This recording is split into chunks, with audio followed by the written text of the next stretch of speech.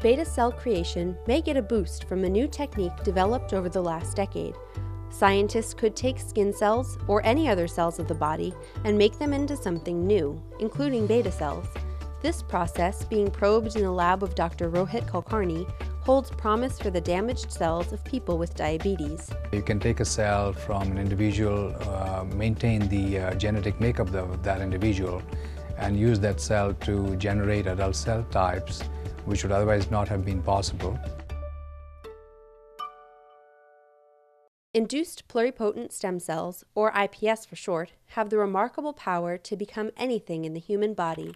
Unlike the controversial embryonic stem cells, IPS cells come from an adult. They once lived day to day as, say, any normal skin cell would, until one day they get picked and brought into a lab. After some tinkering, they revert back to their pre skin cell state, back to the stem cells, with the potential to become any cell in the body. In 2006, a Japanese scientist named Shinya Yamanaka figured out how to force this reversion to stem cells in a lab, using four specific proteins now known as the Yamanaka factors. We can get these uh, stem cells starting with a skin biopsy, so you can just take a small amount of skin from a living patient or you can take a blood sample. Then, researchers bathe their harvest in a solution of the Yamanaka factors for about a month until enough IPS cells emerge.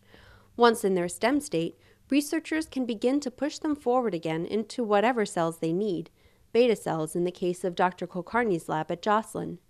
They have cells from people with type 1 and type 2 diabetes in the works and have already published research on MODY, a type of diabetes caused by a single gene mutation.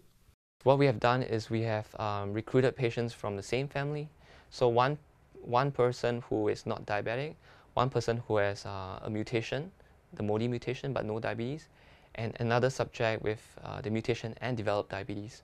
So we can derive iPS cells from these patients with MODY, differentiate them in vitro,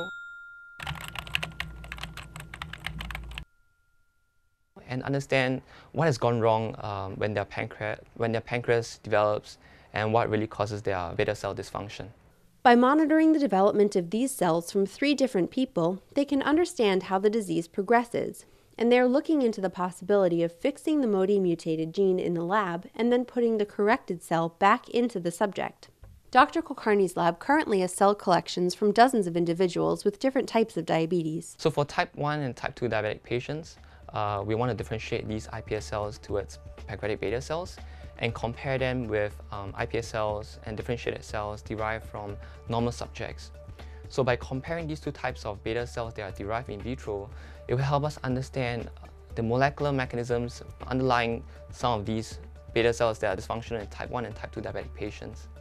What we want to do is to derive sufficient numbers of these beta cells and then subject them to different kinds of drugs and chemical compounds to see, for example, if we can induce more beta cell proliferation. Dr. Kulkarni's lab isn't alone at Joslin. Other labs study new ways to treat complications with IPS cells by trying to create liver, kidney, heart, and nervous system cells out of skin cells. These cell types in living patients are not accessible for us to, uh, to study. So one cannot go and take a small part of the heart cell or a nervous system, but the IPS uh, allows this approach to, to make it a very unique resource, uh, which would otherwise not be possible. Each cell holds the genetic code of the person it was taken from, so this approach can allow for personalized medicine by screening each individual's cells to see which intervention method they'll best respond to. The long-term goal would be to uh, create large numbers of these cell types at the bench and put it back into the patient in where exactly the disease is occurring. So for example, in, in, in patients with diabetes, we want to have a large uh, bank of beta cells which are derived from this patient's uh, cells and then we want to put it back into the pancreas where they belong. Because these new beta cells would come from the patient, transplantation of these cells could avoid the host rejection issues inherent in other beta cell sources. More labs at Joslin are looking at treatment of obesity, insulin resistance, and skeletal muscle dystrophy with IPS cell techniques.